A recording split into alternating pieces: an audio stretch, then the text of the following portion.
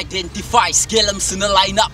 Dwillums in the light-up. Mules getuk in het per ongeluk geoverdose. En gedrek op onze eindes. Met condoms voor amprosis, heroin dat vuil is. Mijn broer, voor bij customs. Die moedel van zijn poebotels of tandenpastes. Kijk je die klachtes. Gaan maken op het docket, kijk je los het. Van die dwillenbaas, het politiemannen binnen hulle pockets. Nou corruptie, binnen die politie. Corruptie strekt zelfs tot binnen politici. Ek kom vir julle, ek kom vir julle, ek kom vir julle staatsamptenare. Ek kom vir julle, ek kom vir julle, ek kom vir julle dwelm brase.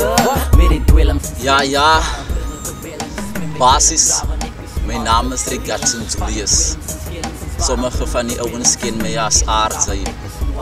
Basically het my my inspirasie destyds gekom van 'n groep met die naam van Linsit for Christ. Hy ons was die enigste manne wat in Afrikaans gegooi het. En ek gooi Habi States. Ek gooi sometimes te maak teen Ewe. Maak op 'n docket kyk jy los het. Van die dwelm baas het polisie manne binne hulle pockets. Sommige kere doen ek poetry afhangende van wat die mense wil hê. Ek sien nog steeds Port Elizabeth in die Ooskaap as 'n plek van opportunity. Daar is baie opportunities hier so.